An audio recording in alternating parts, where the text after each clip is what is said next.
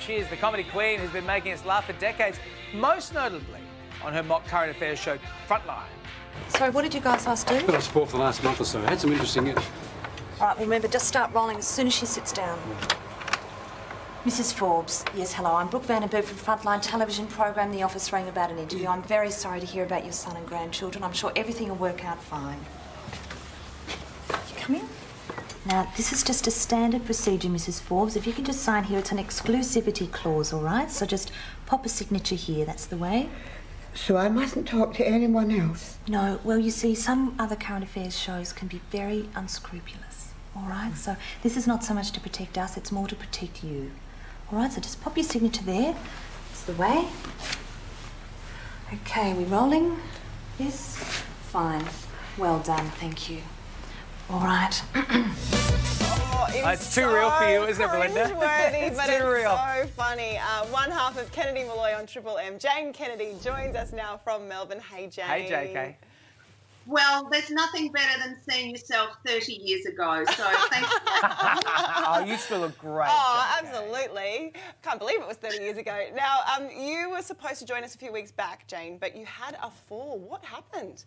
Well, it also sounds very granny of me, but I was going outside because we're in ISO and I've got five kids at home. I was was doing a bit of cleaning up and I found um, a wildlife camera that you attach to a tree. That is also um, night vision because there's so much animal life going on around, and we're in the middle of the city in the suburbs. I thought we'll capture the foxes and the owls and the birds.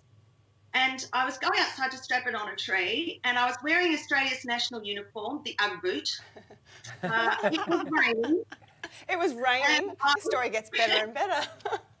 and I went whooshka like the old banana peel, um, fallen on my head Oh, and no.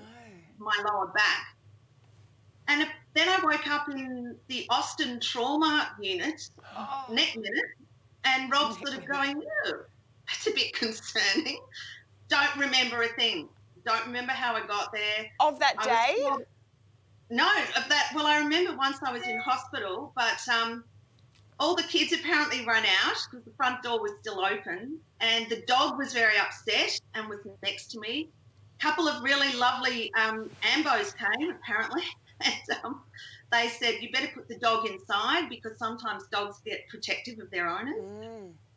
Uh, and yeah, no, it's crazy. It's called retrograde amnesia. Apparently, it's not devastating. I've just blocked out that much of my memory, and um, it's getting a lot of comedy value. I have to say, working with Mick Molloy. Oh, absolutely.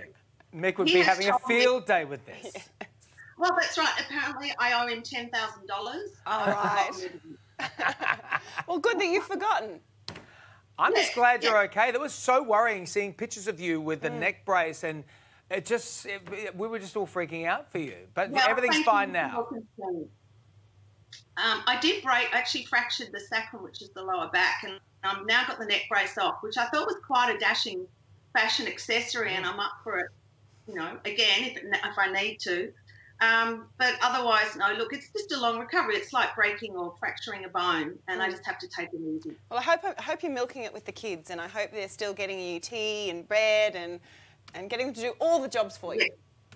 They are, and uh, thank you while I can to all my beautiful friends and family who brought so much food and flowers and everything to me. It was very, I was very, very spoiled. So I must do it more often. no, please don't. now, in isolation, there are so many people doing these reboots. So we want to know: is there any chance that you consider getting the cast of Frontline back together?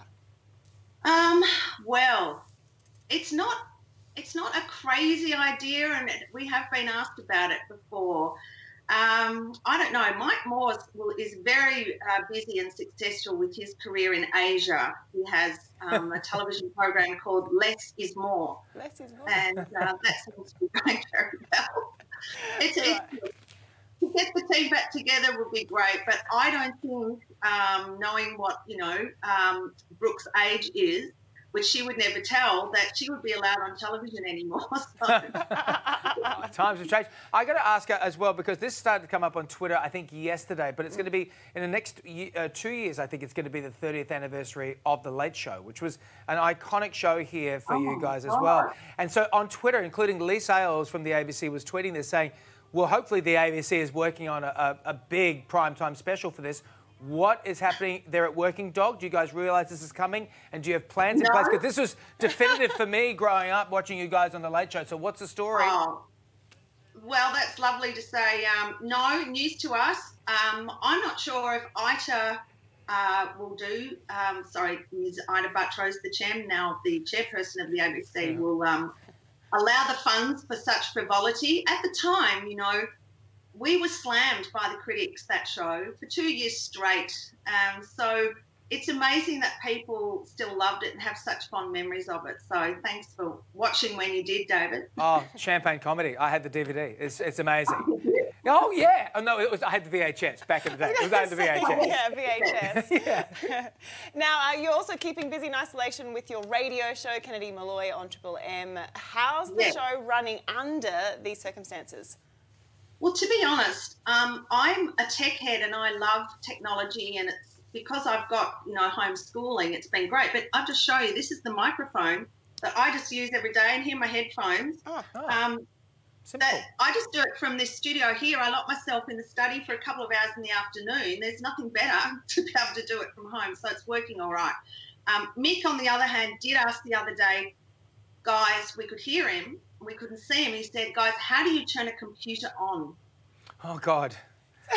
Okay, so he's not He's as not savvy. really, yeah. Yeah, not as Doing it savvy. It's a properly. problem. Not savvy. He's not up with it. Um, but we've been coping okay. Look, we as we're national, we get out to go. Um, we get out to regional Australia. We get great feedback from everyone around the country.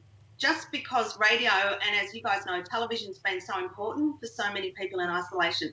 So we we just check in and love hearing from callers every day. It's great fun, and working with Mick is ridiculous and fun and It's You- good that he yeah. knows how to turn the mic on. It is true, and I'm sure he says the same about you because everybody does who works with you, Jane. So great to hear you're safe. Lots of love to Rob and the family as well, and you take thank care. Thank you so much. I love uh, watching you guys. Thanks. Oh, thank you, Jane. Bye, Jane.